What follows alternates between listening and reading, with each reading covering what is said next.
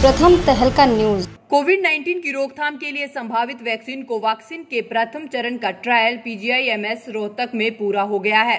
प्रथम चरण में संस्थान में उनासी लोगों को वैक्सीन दी गई और प्रथम चरण में शामिल तीन युवाओं को कोवैक्सीन की दूसरी डोज भी दे दी गई है। ट्रायल में शामिल किसी भी व्यक्ति पर अब तक वैक्सीन का प्रतिकूल प्रभाव देखने को नहीं मिला। पीजीआईएमएस रोहतक समेत देश भर के चार चिकित्सा संस्थानों में कुल 375 लोगों को ट्रायल में शामिल किया गया है। प्रथम चरण में 18 से 55 वर्ष के लोगों को शामिल किया गया। अब सितंबर महीने में वैक्सीन के दूसरे चरण का ट्रायल शुरू होने की उम्मीद है। दूसरे चरण में 750 लोगों को ट्रायल में शामिल किया जाएगा। दूसरे चरण में 12 से पैंसठ वर्ष तक के लोगों को वैक्सीन दी जाएगी। दरअसल पीजीआईएमएस रोहतक देश भर के उन तेरह चिकित्सा संस्थानों में शामिल है, जहाँ कोवैक्सीन का ट्रायल किया जा रहा है। हैदराबाद की कंपनी भारत बायोटेक ने भारतीय चिकित्सा अनुसंधान परिषद आईसीएमआर और नेशनल इंस्टीट्यूट ऑफ़ वायरोलॉजी के सहयोग से कोवैक्सीन बनाई है।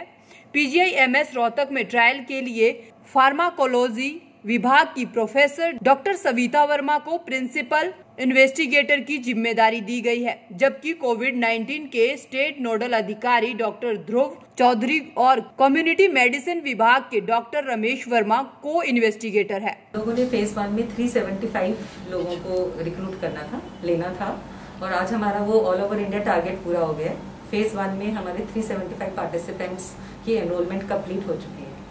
और आज से हमारे यहाँ फे सेकेंड डोज लगनी थी तो तीन वॉलेंटियर्स जो जिनको हमने सबसे पहले सत्रह तारीख को वैक्सीन लगाई थी।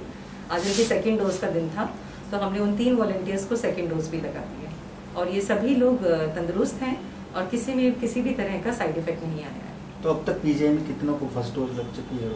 अब तक पीजीआई में सेवेंटी नाइन लोगों को फ़र्स्ट डोज लग चुकी है और तीन लोगों को सेकेंड डोज लग चुकी है।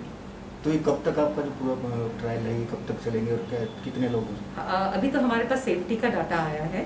अब ये देखना है कि ये वैक्सीन कितनी इफ़ेक्टिव होगी या जिस काम के लिए बनाई गई है उससे लड़ने की क्षमता प्रोवाइड करती है या नहीं। और ये हमें अगस्त एंड तक पता लग जाएगा। पीजीआईएमएस में जो है हमारा जो टारगेट था जो हम लोगों को दिया गया था वो हम लोगों ने कंप्लीट कर लिया।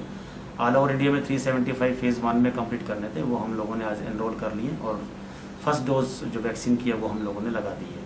सेकेंड फ़ेज़ हमें उम्मीद है कि फ़र्स्ट वीक ऑफ़ सेप्टेम्बर में शुरू हो जाएगा। और मैं वॉल्टियर से उम्मीद करूँगा और उनसे रिक्वेस्ट भी करूँगा कि हमारी पी जी की जो हेल्पलाइन है, उसमें अपना नाम रजिस्टर कराएँ और देश की सेवा में अपना पार्टिसिपेशन दें। पी जी की हेल्पलाइन मैं एक बार आपको रिपीट कर देता हूँ nine four one six four four seven zero seven one चौरानवे, एक सौ चौंसठ, सैंतालीस, ज़ीरो इकहत्तर उसका नंबर है।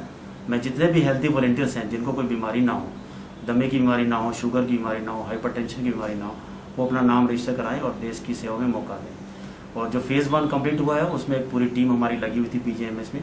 उसमें आठ से दस डॉक्टर थे, चार से पाँच नर्स थी और पैरामेडिकल का स्टाफ था।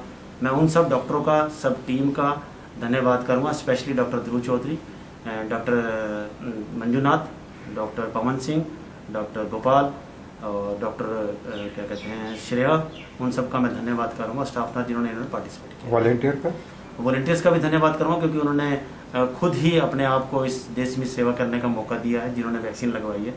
और वॉलेंटियर्स का दिल से तह दिल से उनका मैं धन्यवाद करना चाहता दरअसल कोरोना की रोकथाम के लिए संभावित वैक्सीन कोवैक्सीन के प्रथम चरण का ट्रायल पीजीआईएमएस रोहतक में पूरा हो गया है।